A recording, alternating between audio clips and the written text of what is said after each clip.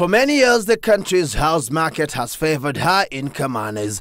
Currently, Kenya's housing gap stands at over 200,000 units a year and growing, with the poor worst hit.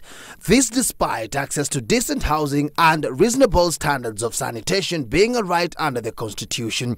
President Uhuru Kenyatta has identified decent and affordable housing as a key pillar of his economic plan in his last term in office.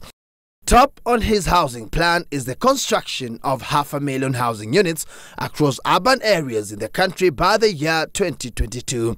The goal being to avail decent homes, create employment, establish a market for manufacturers and suppliers to boost to 14% the contribution of real estate to the country's gross domestic product.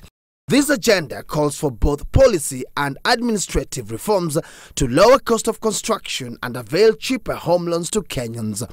In this regard, the government plans to establish the National Social Housing Development Fund, whose role will be to mobilize resources and manage tenant purchase schemes, as well as offer alternative financing strategies for low-cost housing and related infrastructure.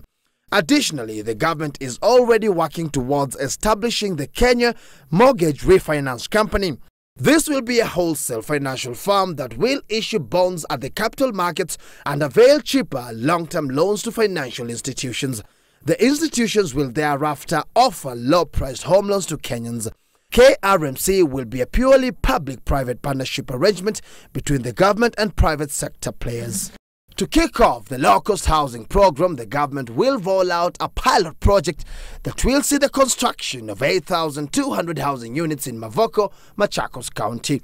Other initiatives under this pillar include a review of the National Construction Authority Act, the Built Environment Bill, and related legislations to foster sustainable building standards and design procedures, as well as green building codes for sustainability and safety of the housing subsector.